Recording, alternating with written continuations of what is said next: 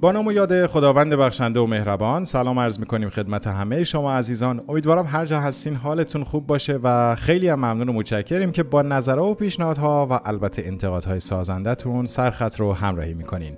خب خب بالاخره پهباد مهاجر ده رونمایی شد که البته خب یه سری انتقادهایی هم به همراه داشت و خیلی منتظر چیز دیگه ای بودن. ولی خب این بار قرعه به نام این پهباد افتاد. انشالله اون چیزی که همه منتظرش هستیم هم به زودی رونمایی خواهد شد. همچنان باید بگم که انبوه موشک های خرمشهر و حاج قاسم به سپاه اضافه شدن. خب در مورد جدیدترین پهپاد خانواده مهاجر با نام مهاجر ده که با حضور رئیس جمهور رونمایی شد باید ارز کنم که این پهپاد با بیشینه مداومت پروازی 24 ساعت در ارتفاع 7000 متری و با شعاع عملیاتی 2000 کیلومتری پرواز می‌کنه. بیشینه ظرفیت سوخت این پهپاد 450 لیتر و بیشینه وزن محمولش هم 300 کیلوگرمه. حد اکثر سرعت این پهپاد هم 210 کیلومتر بر ساعت اعلام شده و میگن که قابلیت حمل انواع مهمات و بمب‌های قائم و الماس رو دارا هست و مجهز به سامانه جنگ الکترونیک و اشراف اطلاعاتی کامل هست. این پستر خفن هم همینجا داشته باشین از این پهپاد که میشه ساعتها در موردش حرف زد. جا داره. همینجا بگم که اولین نمونه از خانواده مهاجر که بعد از دوران جنگ تحمیلی ساخته و به نیروهای مسلح تحویل داده شد این پهباد بود مهاجر دو. با رونمایی از پهپاد مهاجر ده علاوه بر اینکه عضو جدیدی به خانواده پر افتخار پهپادهای مهاجر اضافه شد یه عضو جدید هم به خانواده پهپادهای 2000 کیلومتری ایران افزوده شده که این امر موجب افزایش تنوع سبد محصولات پهپادی و در نتیجه افزایش توان رزم نیروهای مسلح خواهد شد در این مراسم همچنین رئیس جمهور دستور آغاز الحاق و واگذاری انبوه موشک‌های راهبردی خرمشهر و حاج قاسم رو به نیروهای مسلح و نیروی هوافضای سپاه پاسداران انقلاب اسلامی ایران صادر کرد.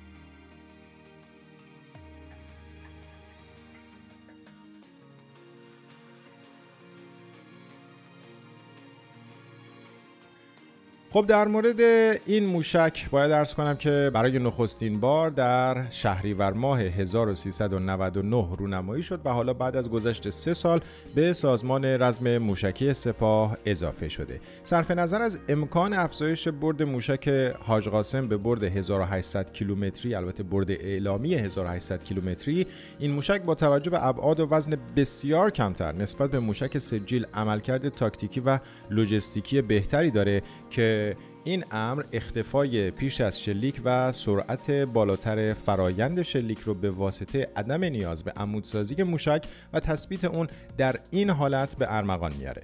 قابلیت هدایت سر جنگی تا نقطه اصابت به واسطه بالکای کنترلی آیرودینامیکی هم امری تثبیت شده در این موشک است. حالا یه نکته دیگه ای که توجه خیلی از کارشناسان نظامی رو به خودش جلب کرده و البته باعث وحشت خیلی ها شده این لانچرهای جدید هست که می‌تونه سرعت آتش رو به شدت بالا ببره و مثل همیشه به طور همزمان صدها موشک در کسری از ثانیه پرتاب بشه. خب اینم از رعد و طوفان در نمایشگاه امروز وزارت دفاع. این تصویر و این خودروهای نکته داره دوستان. مطمئنا شما متوجه اون نکته شدین. تو کامنت ها برامون در موردش بنویسین. تو برنامه آینده در مورد صحبت خواهیم کرد. اما حالا و در همین راستا بریم یک گزارش ببینیم از العربیه. ایران سالهاست که برای توسعه زرادخانه موشکی خود تلاش کرده است. در میان موشک های این زرادخانه موشک وجود دارد که ایران ادعا می کند سرعت آن 15 برابر سرعت صوت است. جدیدترین موشک این زرادخانه موشک فتاح است که تهران می‌گوید برد آن به 1400 کیلومتر می‌رسد. ویژگی متفاوت این موشک سرعت آن است که طبق روایت ایران 15 برابر سرعت صوت است. البته تا کنون آزمایشات میدانی برای اثبات درستی این اطلاعات انجام نشده است. موشک دوم موشک بالستیک خرمشهر است. یک موشک میان برد که در سال 2017 آزمایش شد و برد آن به 2000 کیلومتر می‌رسد. یعنی توانایی رسیدن به عمق اسرائیل را به این موشک می دهد. این موشک توسعه پیدا کرده و انواع دیگری از آن تولید شده است. جدیدترین نسخه آن توسط ایران خیبر نامگذاری شده. نسخه که با توانایی حمل چند کلاهک جنگی، مانوردهی و عبور از سامانه های راداری از بقیه متمایز شده است. موشک دیگر سجیل نام دارد یک موشک زمین به زمین که دارای سه نسخه است و با سوخت جامد کار می کند آخرین نسخه سجیل طبق ادعای ایران دارای برد چهار هزار کیلومتری است. البته شما فکر کن 4000 کیلومتره. انقدر کامل و جامع توضیح داد که من واقعا نمی‌تونم چیزی بهش اضافه کنم. حالا و در ادامه توجهتون رو جلب می‌کنم به این خبر جدید و داغ از مصر. بازگشت کامل روابط با تهران انجام خواهد شد. رئیس شورای روابط خارجی مصر ساعاتی پیش آب پاکی رو ریخت رو دست نتانیاهو و دار و دستش و اعلام کرد تماس ها با ایران برقرار است اما ضرورتی ندارد که علنی شود. بازگشت روابط کامل با تهران انجام خواهد شد اما قاهره ملاحظات خود را دارد. مصر برای اثرگیری روابطش با ایران نیازی به میانجیگری و یا دخالت طرفهای دیگر ندارد. این هم یه شوک جدید به اون جماعت و اربابشون رژیم صهیونیستی. این جماعت را عرض می‌کنم دوستان.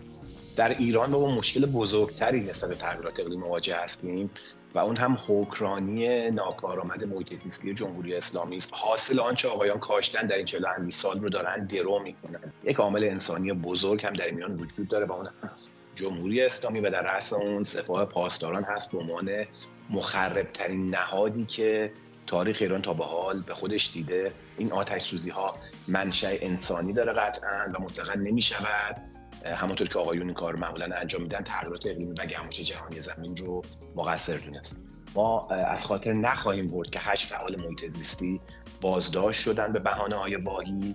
یک نفر از اونها دکتر کاووس سید مامی در زندان کشته شد. یک نفر آزاد شد و شش نفر دیگه همچنان در زندان هستن خب تا اینجا که همه چی طبق معمول و روال این شبکه پیش رفت یه سری چرت و پرت تحویل مخاطبان فهیم تر از خودشون دادن.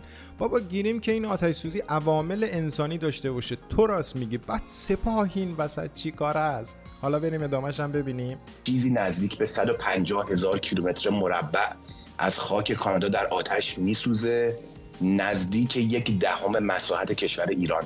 می‌دونیم که جاستین ترودو هم به عنوان رئیس دولت فدرال در تماس نزدیک است با این دو مقام مسئول و همیشه کشور کانادا مستعد بود برای آتش ها به در فصل تابستان. اما امسال تفاوتی که داشتیم که فصل بهار گرمتر و خشکتر بود و زودتر هم آغاز شد.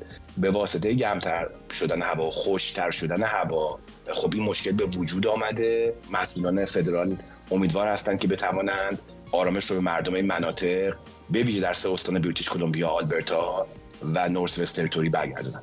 heat waves یا موجهای گرمایی که تشدید شدن به خاطر شرایط اقلیمی خب اونجا به وجود اومده. نکته دوم این که ما اونجا شاهد dry vegetation هستیم یعنی گیاهان خشک و خب نکته سوم در واقع low humidity یعنی رطوبت کم. ضلع مثلث آتش متاسفانه کامل شده در هاوایی. زمانی که دبیر کل سازمان ملل گفت ما از مرحله گرمایش جهانی گذر کردیم و به مرحله جوشش جهانی رسیدیم خب این آتش سوزی اخیر که از مصداقهای اون هست تغییرات اقلیمی موضوع نیست که منحصر به یک کشور یا دو کشور باشه. بله دوستان در هاوایی اینجوریه دیگه. خلاصه مزخرفاتش میشه این. آتش سوزی تو ایران کار حکومته اما آتش سوزی تو آمریکا و کانادای nice کار طبیعته. در همین حد تباه و البته مزد بگیر. خیلی ممنون و متشکرم عزیزان که تا انتها با ما همراه بودین. لطفا like و subscribe ها فراموشتون نشه و سعی کنین این ویدیو رو واسه دوستاتون هم بفرستینش تا یه ویدیوی دیگه در پناه حق باشین.